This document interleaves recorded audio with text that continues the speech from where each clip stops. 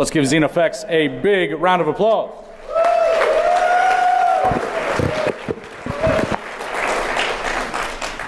All right, hi everyone. Uh, I guess we're going to get started two minutes early, which is great because I packed in a lot of content into this period. So, um, my talk is dissecting the Teddy Ruxpin reverse engineering the Smart Bear. It's essentially my experience uh, taking my child's toy and trying to see if it was going to cause uh, any security nightmares for me. Um, but uh, we'll, we'll get into some fun things here on this presentation. So. Uh, a little bit about me. First of all, um, my Twitter handle is at Zenofex. I go by Zenofex. I'm a security researcher at Cylance. Um, I'm a founding member of a hardware hacking group called The Exploiteers. Uh, and uh, I'm a contributing member to uh, a local community that we have called Austin Hackers. Um, a little bit about Exploiteers. Um, we have roughly 10 members, give or take a few that uh, don't officially associate with us, but they are pretty much part of the group. Um, we have Agent HH, CJ, Cody, Gynophage, Maximus, MBM, Sarek, TD Wang, and uh, string or null string, uh, and of course me. So our general goal is to just hack things, anything, anywhere. We originally started hacking Google TVs, and then Google killed off the Google TV, so then we just started hacking anything we can get our hands on. Um, we have a pretty decent community, and we're all very helpful, so uh, check out our exploiteers site where we have like 60 plus uh, embedded devices that have roots and other hacks. Um, we also have an IRC network that I'll talk about at the end. So a little disclaimer, first of all. Um, the data within this presentation was all stuff that I reverse engineered. I didn't have official documentation or anything else. Um, so a lot of my attempts were just essentially trial and error and reversing what I could when I could. Um, I I literally have been working on this for a very long time, um, and uh, I, I, you'll see why it's essentially an RTOS environment, um, which can be a little more difficult because after you want to interface with the peripherals. So terminology, um, you Teddyophiles will uh, uh, will uh, will not or will already know this, but an Illiop is a brown bear-like creature with a kind disposition. You might think Teddy Ruxpin's a, a bear, but he's actually an Illiop. Um, so the OG Illiop. This was the 1980s uh, Teddy Ruxpin. I think a lot of us are probably familiar with. Um, it used cassette tapes on uh, on its back that you replaced, and you had physical books that read along with the cassette tapes. His mouth moved and his eyes opened and closed, but it was a physical movement, not an LCD screen like the newest revision. So the new Illiop. Um, the new Illiop is this guy. Essentially, oops, uh, essentially he has animated eyes, a moving mouth, speaker, uh, Bluetooth low energy, uh, USB mass storage that is uh, used via uh, an internal micro SD card, and a companion mobile app. Getting inside Teddy, so I'm about to show y'all what, what, what this looks like. It's, it's terrifying. Um, so, uh, a little. so a little about Teddy. Uh, this particular revision comes with a uh, mask that you put on him so he doesn't scare your kids when he's off. Uh, it's, it's, needed too, because he, it, like I said, it's crazy. Uh, but let's take his jacket off and uh, get him out of here. This is essentially Teddy Ruxpin. This is Teddy's skin. so it's, it's pretty enjoyable. And here's Teddy on.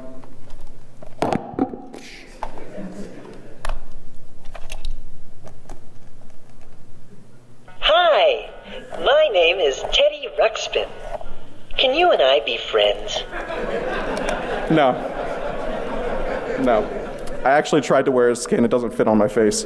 Um, so inside of Teddy, we have a logic board, and this is the, the top of the logic board. It's actually stored right in his eye area here. Um, there's this uh, proprietary, or this chip called the Sonix. Uh, it's the Sonix MCU. I don't remember what the uh, physical or the uh, the actual name of it was. But uh, there's a speaker driver, the Bluetooth low energy, there's an SPI flash, and then there's this uh, SD card slot that actually ends up holding um, the storybooks that are uh, stored on Teddy Ruxpin. Um, this is the logic board's bottom. You can see there are two 128 by 128 LCDs that are used for each individual eye.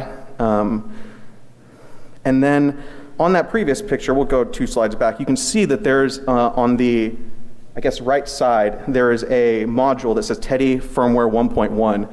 That module is an MYN822BLE module, which is essentially just a module for the uh, Nordic NRF 51822 chip. Um, so here is the diagram for interfacing with its SWD port and also all the different GPIO pins that are used uh, within Teddy. They only have um, roughly 11 GPIO pins in use of the uh, 22 or so that are available, um, or 26 that are available. Uh, and then, of course, they have SWDIO and SW clock hooked up, uh, which is the uh, debug uh, pinout for software debugging uh, Cortex M0 chips. So with that particular pinout, we were able to dump the firmware for Teddy um, and also the RAM um, you can dump it with OpenOCD, but I had a Segger J-Link based on doing some badge development for the whole Badge Life project. And uh, I just used that with uh, NRF JProg to dump the firmware and RAM. Um, like I said, you can use OpenOCD, and if you ping me, I can give you a config to make that work. Um, so this particular Teddy, instead of having physical books, he uses a mobile app. And so you can see in the mobile app picture, they have a little cartoon picture of Teddy and his best friend, Grubby. Um, so uh, the, the mobile app works essentially by using uh, BLE to communicate um, when each page is turned and when a next story should be read. So I took that and I threw it, I took the APK and I threw it into JADX GUI, and uh, it was really nothing more than a wrapper for a bunch of Adobe Air content. Um, so within the, the uh, APK was a, a SWF file um, and I took that SWF file and then I threw it into JPEXS. Um, essentially, this is a Flash decompiler, um, and all the BLE stuff was within this SWF. So uh, if you are poking at your own Teddy, um, you can. Uh, you're, better off not even looking at the APK. Just unzip it, grab the SWF, and throw it into uh, um, JPEXS. So I went ahead and I listed all the BLE info, the uh, receive and transmit uh, UUID characteristics, and uh, all the commands to jump between storybooks um, and uh, to choose individual storybooks. I didn't.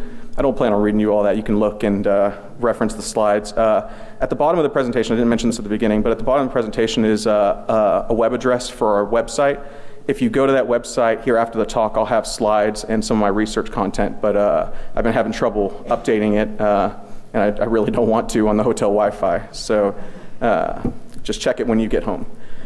So you take the firmware uh, that you dumped with SWD and you can throw it into IDA, and uh, it shows up as a just binary data. But then if you uh, choose ARMv7 um, LE and enter in these settings, you can actually go and look at the disassembly and try to reverse some of it yourself. But uh, realistically, most of my stuff was done through visual analysis of the storybook files and a ton of trial and error. So um, I, I, got it in IDA a little too late for me to spend too much time in that uh, in this particular section. So. Uh, the Teddy Ruxpin books. So um, I showed y'all Teddy's face and body. Um, on the back, there's a micro SD pin, uh, pinout or header, and you can essentially connect into that and it pops up a mass storage device and has all the books on it, which are an intro file, an idle file, and then the 10 storybooks that uh, they provide. The, I'm, I'm thinking the idea was that they would release books at a later point for purchase and you just copy them over to the bear because they don't provide functionality to transfer it over um, through BLE.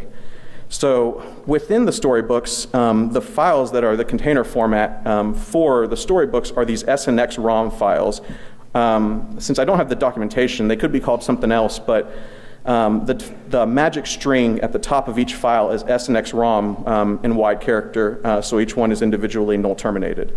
Um, the Target exclusive contains two extra stories, but it was always a little more expensive than I wanted to pay, and uh, I bought six of these. Uh, so I, I have way too many teddies.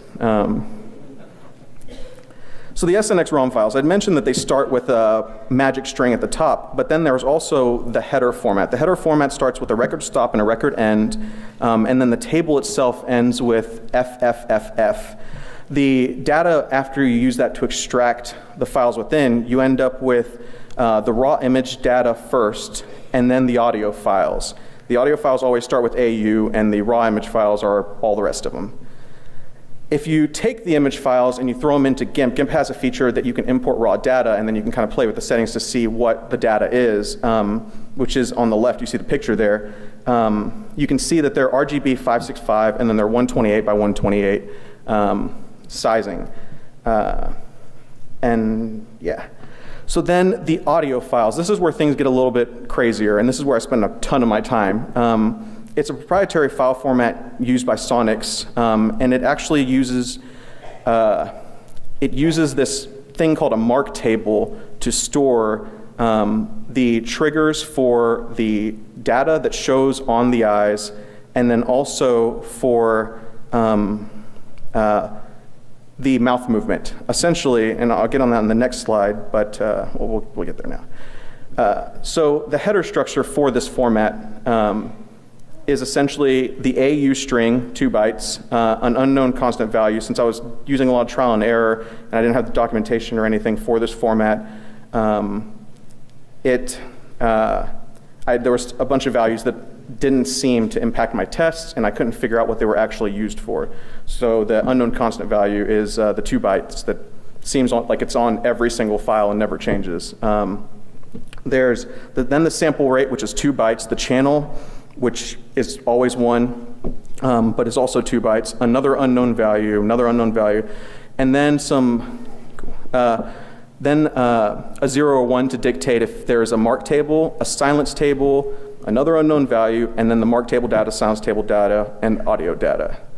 The actual data structure, when I say audio data, mark table data, and silence table data, um, is the mark table is defined by uh, two to four bytes that signify the position, two bytes that signify the value of the data at that position, and then um, that particular table ends with OXFFF.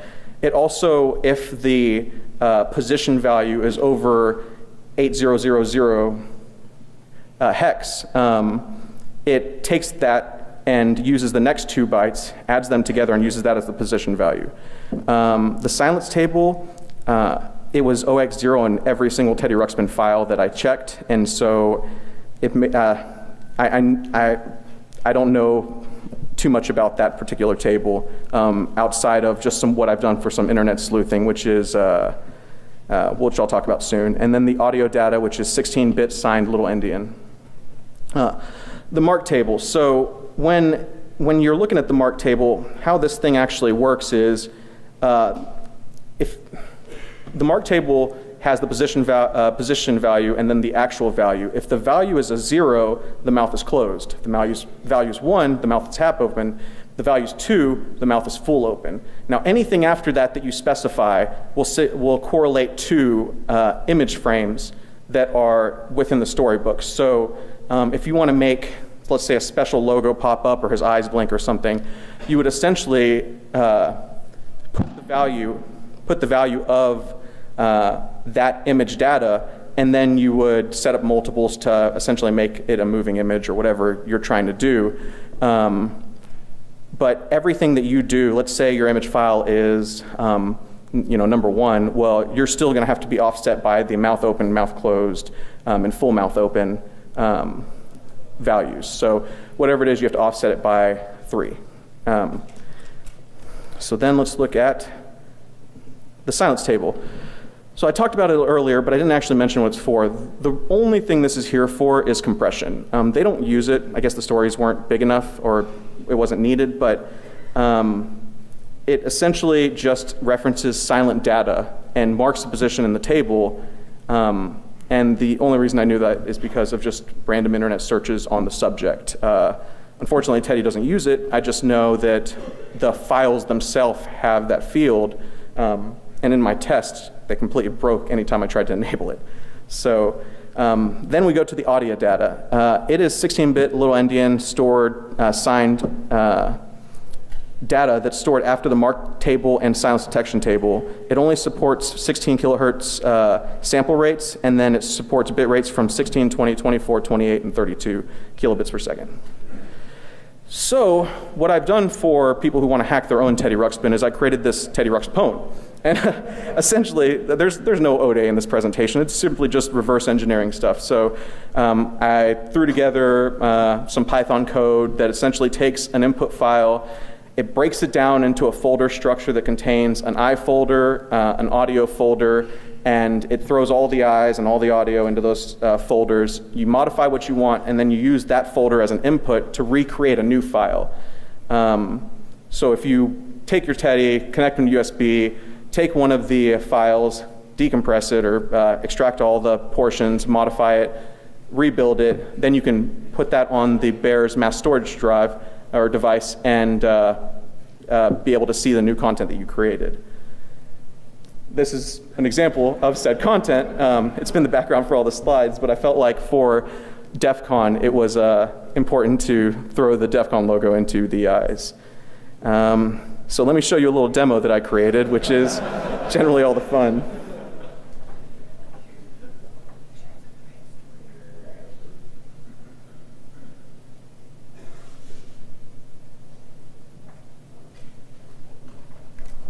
Hope you don't mind. I know there's like a no video photography uh, rule, or used to be, but I got this 3D camera that is awesome, and I really want to use it. So everyone can just uh, deal with me breaking that rule.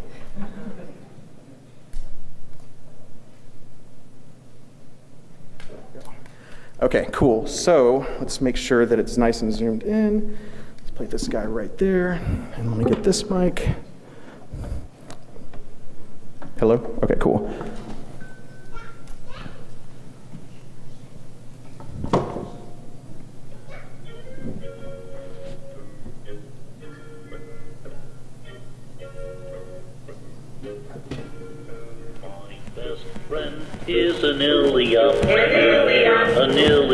Is my best friend. Come on, what are you waiting on? They're trashing our rights, man! They're, they're trashing the fluid data! They're trashing! Trashing! Trashing!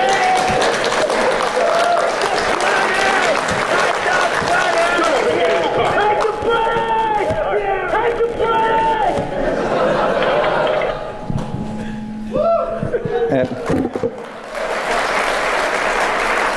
And, and that's the outcome of months of work.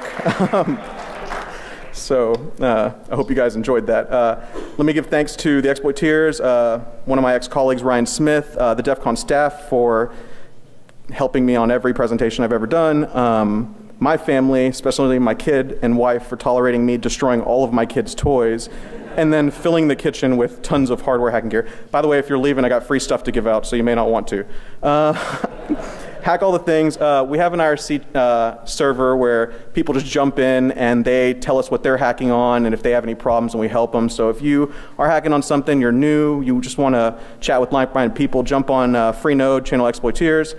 There shouldn't be a dot in that channel name, my bad. Um, so just exploiteers without the dot.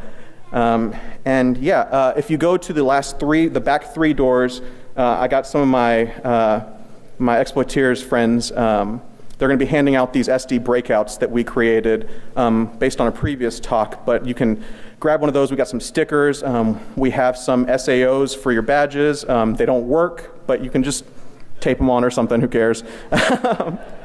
and yeah, thank you everyone for coming out uh, and braving the heat to get here.